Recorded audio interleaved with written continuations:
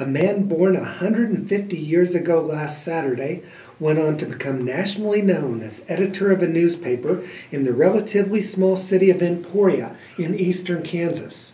This is Tim Hrenchir, the history guy, talking about William Allen White.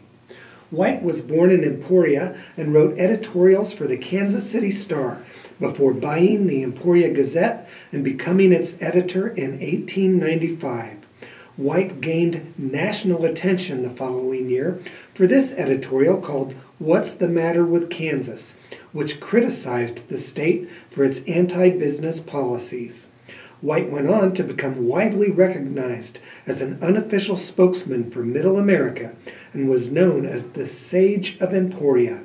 Presidents Theodore Roosevelt, Calvin Coolidge, and Herbert Hoover all visited his Emporia home, which was known as Red Rocks.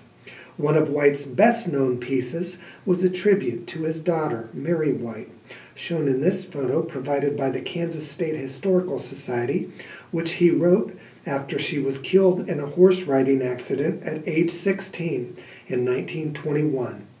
White voiced vigorous criticism during the early 1920s of the Ku Klux Klan, which was growing nationally in popularity. Kansas banned the Klan in 1925 from operating as a business in this state, and White joyfully wrote this editorial the following year declaring the Klan dead in Kansas. White died at age 75 in 1944.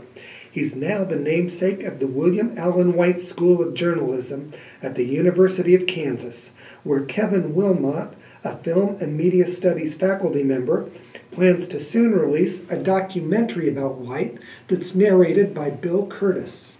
This is Tim Hrenchir, the history guy for CJ Online.